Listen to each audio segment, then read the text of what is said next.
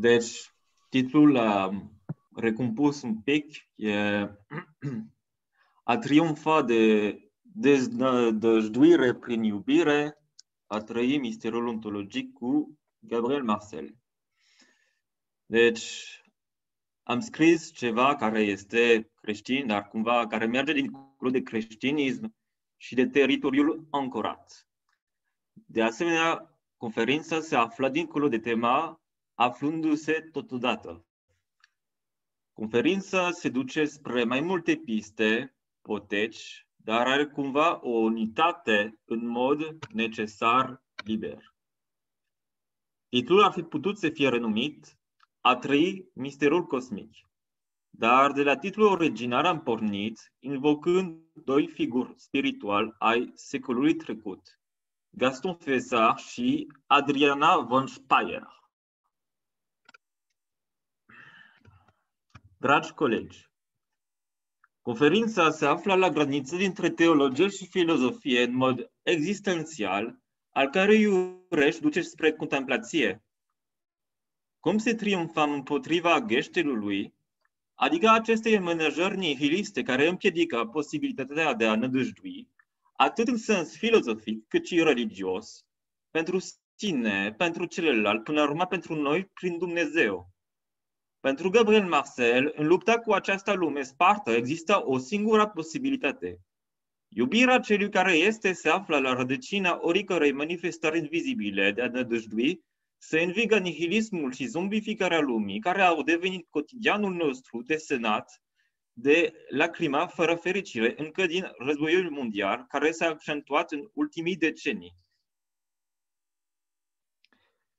În acest sens, Analiza și critică gheștelului sunt propedeutici esențiale, care reclamă mai apoi o desprindere față de critică, fiind în același timp o prindere senzorială prin apariția invizibilă a misterului ontologic, care ne transportă prin brațele lui angelice, colorate, colorate de credință și de caritate, dincolo de lumea cauzală, ce ne împotmolește în disperare.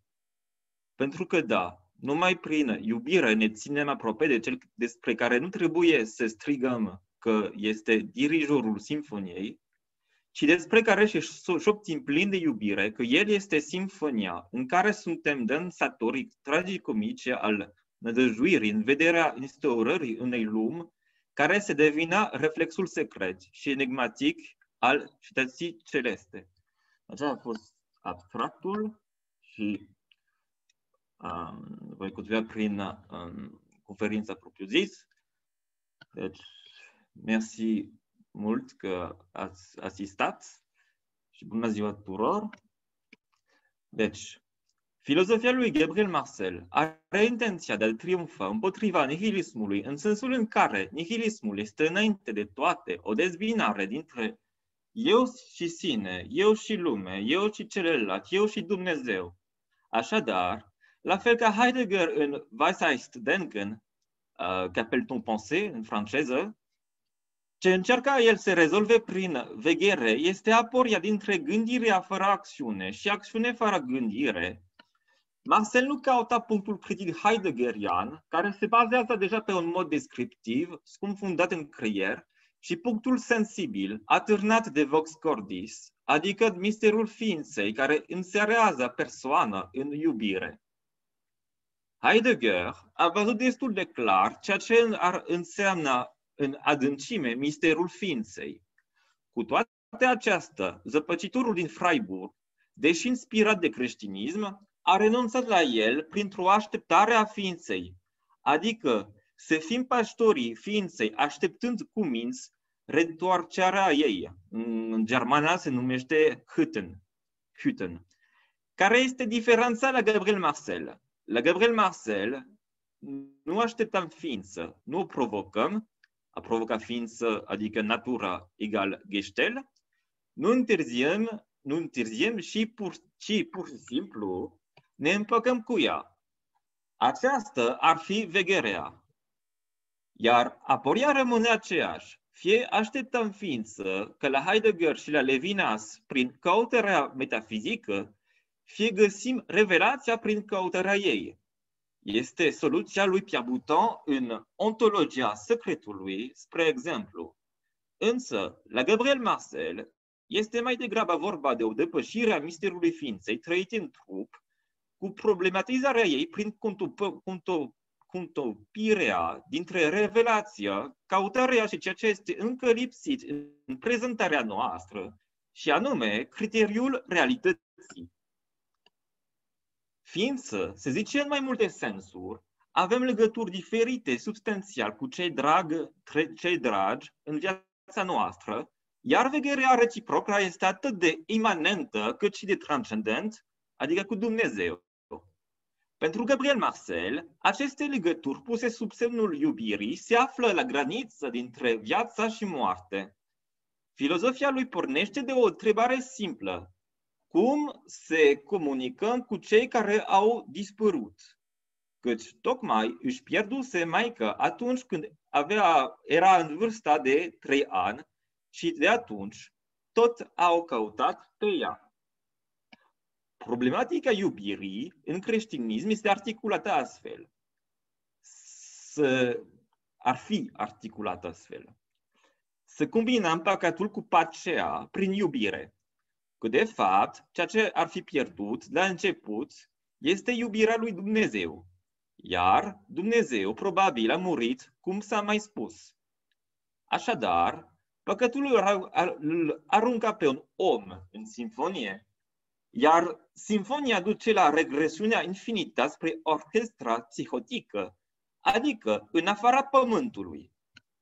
Pacea pământească o regăsești prin depășirea metafizică a polarității bărbat-femei atunci când devii o persoană după Noul Testament, ceea ce echivalează pe planul metafizic cu o taină care trebuie păstrată intim în inimă care poate fi depășită din nou prin scara oblică. Îndeplinirea căutării arhetipului, arhetipului feminin al lui Gabriel Marcel, încarnată sub figură Euridicei din mitul lui Orfeu, s-a dezvârșit parțial atunci când și-a găsit nevastă Jacqueline în vârsta de 20 de ani, în 1920 29, care i-a încheiat parțial o oarecare fascinație pentru telepatie, comunicarea cu morții, ezoterism și așa mai departe. Însă, această unire contractuală nu a fost suficientă pentru a transcenda pierderea, tristețea, anxietatea, fiindcă rana tot rămâne acolo, repetată sub formă trupală prin mitul lui Orfeu, Adică atunci când lucrurile devin sub pământ, din frică de a-și vedea femeia iubită aprinsă pentru totdeauna în sejurul, sejurul infernal al morților. Atunci, vizionând profetic viitoarea moartea nevestei, Gabriel Marcel, anticipând printr-un sentiment marcat de o iminență acută, dacă nu caleidoscopică, a tot încercat să o liniștească prin experiența comuni- comuniunii cu cei defunți. Dar aceste lucruri înseamnă tot una, psihoză, adică o dezlipire dintre înțelegere și imaginație, cum Spinoza a văzut. Deci atunci când nădejdea, iubirea și credință nu mai formează această hora cardinală a lumii orchestrale, Căci nădejdea spune, tu nu vei muri. Da, tu nu vei muri, atunci te vei iubi prin credință. Așadar, acest lucru ar transforma ratajul ontologic respectiv într-un simbol pur și simplu. Cum se formăm din noi acest ritm oblic care îi insera pe actores mundin în jocul șugubat al ființei. Cel mai important, Gabriel Marcel și-a găsit un maestru pur spiritual în 1934. Gaston Fessard, un preot jezuit care el era mai istoric, mai politic, mai obiectiv, mai analitic, pe când Gabriel Marcel era el mai sensibil, mai melancolic, mai empatic. S-a confesat la el, cu care și-a schimbat o corespondență de 500 de pagini timp de 30 de ani. Atunci, când și-a găsit nevasta și stăpânul, transferul s-a efectuat prin sinfonie și prin cuvinte, iar pe urma Gabriel Marcel a făcut conferințe prin lume, i-a ajutat pe studenții cu toată energia lui, a încercat să împace oamenii între ei, între ei fără să răspundească răul în întrunirea atomică dintre intimul și mondialul. Această întrunire nu înseamnă nici cum, nici cum faptul de a fi băgat într-un dasman impersonal, înecându-se lumea superficială și spectaculoasă, ci într-un noi împodobit de har, în care suntem cu toți surori și frați. Cele două cărți cele mai importante de ale lui, Omoviator în 1945 și Misterul Ființei în 1951, s-au acordat oarecum cu orchestra lumii eliberată de orice psihoză sau nevroză, orchestra lumii, cer și pământ în același timp, în care avem legături cu cei dragi, cei dragi, cei iubiți, aflați la granița dintre viață și moarte în eon, pentru eternitate întruchipată aici și acum. Însă, mereu această rezonanță universală se va confrunta cu un pragmatism ineluctabil, adică viață, care poate rupe simfonia, dar care nu va distruge niciodată și nici, nici cum cuvântul care decide de viitorul nostru. Nu trebuie să-L cautăm pe Dumnezeu, că noi ne vom regăsi cu El. Și aici vorbim despre o intersubiectivitate eschatologică.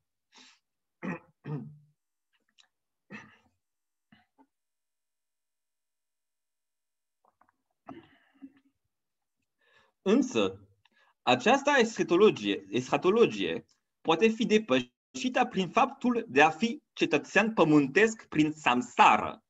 De acolo pornește o nouă discuție dincolo de problematica marceliană, care este scara indiană, hinduistă, este, este egală oare cu eschatologia creștină sau se află la un nivel mai sus? Viatorul nu își sfârșește drumul oare prin această cale, dincolo de orice ego, pe când viața creștină ar fi la jumătatea drumului, tocmai prin faptul că rămâne un fel de ego acolo, adică ego-ul istoric, adică ceea ce sunt eu sau ceea ce suntem noi. Această ambiguitate se regăsește prin conceptul de sati în Mahabharata, adică în Rajasthan, este vorba de o cremație a văduvelor care se azvârlă în rugul prinț, în cistea soților, pe când în budism este vorba de o stare de trezire. Însă, putem să mai vorbim aici de iubire, de speranță, de nădejde? Nu este sigur. Este vorba de altceva, dincolo de viețile noastre. Și atunci, ca un fel de ciclu, revenim la ceea ce este de a noastră, la cultura noastră, la pământul nostru, la biserica care ea este ancorată, dincolo de orice drum, într-un potec care se orientează spre un loc sigur. Dincolo de viață, la, condi- la condiția transcendentală a tuturor acțiunilor noastre. Păcatul originar și secret care se regăsește cu ceea ce se numește în limba sanscrită apurva, adică acest concept care condi- condiționează toate posibilitățile ale viitorului. Așadar, originea și viitorul se lipesc în pasaj pentru a crea un prezent viu, un steigendes un bleibendes urieț, useală, care este de forma helicoidală, așa cum am văzut, a văzut Dionisie, inspirându-se de conceptul de mișcare aristoteliciană. Vă mulțumesc!